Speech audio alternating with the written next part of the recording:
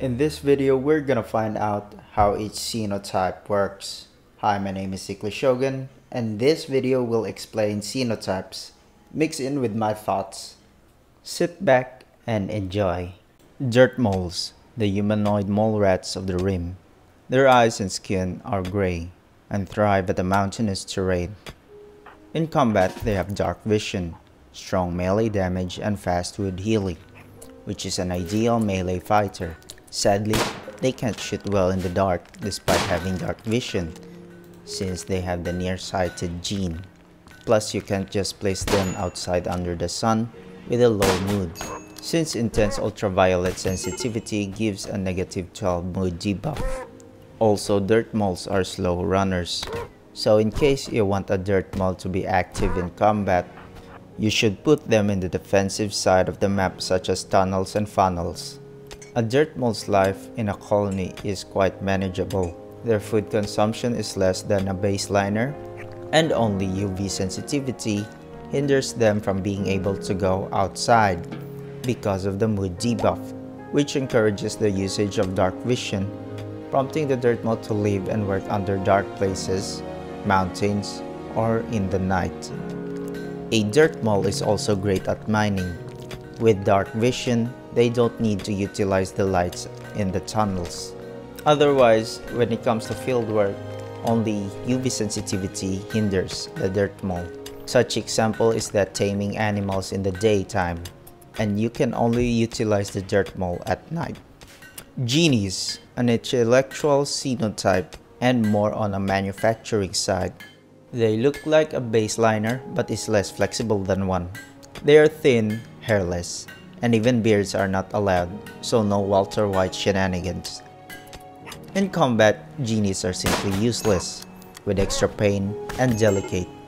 Therefore, the possible ways to fight in a combat scenario as a genie are mortars, building sentries, and if desperate, ranged combat. Simply saying that genies are more suited in supporting the combatants by making high quality guns and armor. Regarding its life in the colony, a genie does not start a fight or have an aggressive mental break like murderous rage and sadistic rage, and they consume less than a baseliner. If there are any types of aggressive bonds, you should either isolate the genie or isolate the aggressive xenotype, because a beaten up genie cannot contribute much to the colony. A genie's set of skills usually excels at intelligence and crafting, with the help of elongated fingers that boost their manipulation. But they have an awful social and poor animals and plants. It does not translate that they are useless in these areas. Hussars With its gleaming, bloodshot eyes, from average to hulking body mass, and combat mastery, the Hussar is a fearsome foe and a reliable ally. In combat, a Hussar is unstoppable, which is unable to be slowed when hit.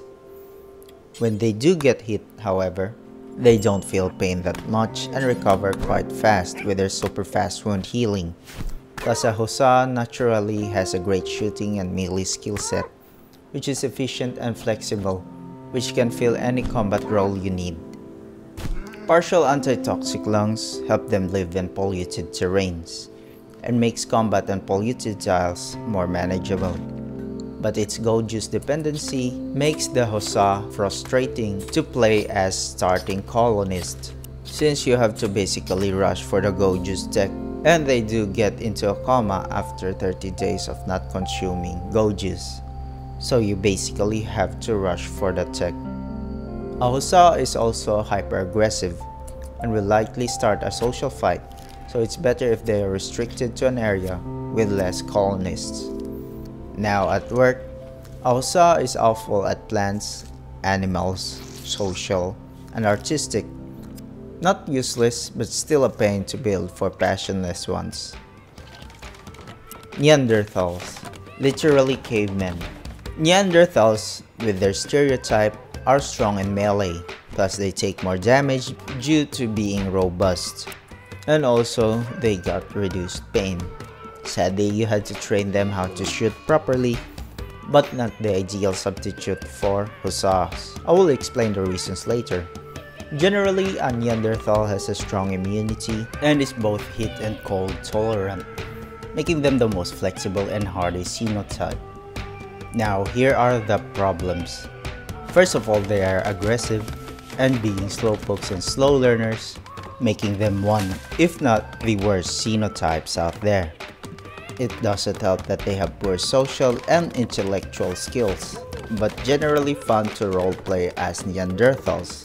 But still, on a normal gameplay and you got them as a pawn, they are quite hard to manage. Pigskins. I actually thought this one xenotype is one of the worst, but an ironically one, if not the best general xenotype out there. Now pigskins in combat live up to their expectations, with reduced pain, they are quite tanky and can still stand in combat where others would have fallen or died. There is a slight problem though. They have trotter hands, making their manipulation a bit weak. Plus they're nearsighted and the ideal range of weapons they can carry are pistols, shotguns, and SMGs. A pigskin or pigskins in your colony is definitely a boon especially early game where you don't have the time to cook or you have a horrible cook. With robust digestion and strong stomach, you can feed your pigskin with raw food. There is a slight problem. They do start eating the raw food first then the prepared meal. I don't know if the robust digestion trait affects the pawn's way of choosing food. Aside from strong stomach and robust digestion, they have strong immunities making them a step higher than Neanderthals. With the pigskin at work though, trotter hands is just a minor debuff, but they do start with poor cooking. Still, a pigskin is still quite manageable. Impids. In the forums I have heard great things about them. Sure in combat they have fire spew and are resistant to fire. Plus they are very fast runners that can reposition well in combat. That doesn't mean that they can be used as melee fighters. They can be used though as close range combat because the fire spew has 7 tiles of range so that makes medium to close range weapons ideal, right? Maybe because the next genes may deter you from using them that way, especially when they have other jobs in the colony. Slow wound healing is one, if not in my opinion, one of the worst traits when it comes to combat since the slower the rate of healing, the longer the downtime of a pawn. Also you can't play them efficiently in melee too, since they have weak melee damage. Overall they excel well at range especially in hit and run combat, and if you're forced to play close quarters, just run cover to cover an impid ideally must live in hot climates, such as the desert, but not tropical forests since they have weak immunities.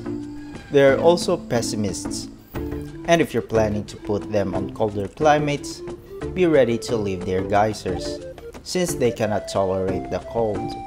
At work, impids generally suck at planting and animals, which is weird for desert dwellers to not know how to manage animals. Might be because they rely on raiding, but that doesn't mean that they are not able to learn those skills. And if you got passion in these poor skills, hey, at least it isn't a Neanderthal. Wasters. They thrive in pollution-stricken areas or soon-to-be ones. In combat, when a waster is in polluted areas, and their enemies are too, they're gonna win the battle of attrition with their total anti-toxic lungs plus pollution stimulus buffs of both extra movement speed and plus 5% consciousness. A waster's life is dependent on psychite. Also, they are immune to wake-up addiction plus super immunity, where they easily recover from sickness. Sadly, a waster is aggressive and ugly, which makes other types of colonies dislike them, and its psychite dependency may prompt you from rushing psychoid-based drugs a waster is great at work only if they are in polluted areas. With pollution stimulus, they work a little bit faster than anyone else. The downside is their skills are poor in art and cooking, and awful in animals. Also, if you don't have pollution on your map, you are not utilizing the waster's unique traits. Yttakins. Space Wolves, need I say more? An Yttakin in combat can utilize two animal war calls, a skill which you can use on any animals to aid you in combat, but they can't be directly controlled, and it's better if they are nearby in the vicinity of the raiders. Also robust makes them fight longer, due to damage mitigation and strong melee damage makes them deadly in close range combat. There's a bit of a problem though. An Yttakin slowly heals over time. Also naked speed is not actually a great trait. One of the reasons are Yttakins are slow to heal Sure, a naked Yttakin can move faster, but the more damage you take, the more the downtime of a pawn, especially when they are also assigned as workers. Therefore, your production may be halted. So an Yttakin must wear armor, even though it makes them slower because of the naked speed trait. In a colony, an Yttakin is usually aggressive and also tired easily, so they frequently go to sleep. Also, they consume a lot of food than most xenotypes, on par with the pigskin. And also they are psychically dull, which can be great if you are not a psycaster, or bad if you are. Overall, keep them closer to utilities and workspace. When it comes to naked speed, however, is great at work. Being fast while naked translates to a great hauler and an efficient workshop crafter. At the same time, it also complements their great animal skill. The only work that the Yttakin is awful at is mining. High mates. Not literally a smoke leaf or a drug enjoyer, high mates are more of a designer mate back in the Xeno Humans mod. They are pretty and make their soon-to-be lovers go crazy for them, romantically of course. But they do not do combat with their violence disallowed gene trait. Plus they're delicate, just like the genies. A high mate is harmonious with kind thoughts gene. Even though other people are creepy or ugly, a high mate has no thoughts on how weird or hideous they look or sound. Plus they are beautiful and sanguine. They are also psychic sensitive and can romance easily than any other xenotype. If they do find lovers, they are also buffed with a psychic bonding trait which gives plus 15 consciousness boost for both the high mate and its lover, and high mates have a high libido. The problem with high mates though, they are weak to heat, and also vulnerable to psychic drone events that are negative. When it comes to work, a high mate has great social skills, which makes them great sheriffs, but awful in mining and plants. That doesn't mean that they are useless if they got passions in those skills.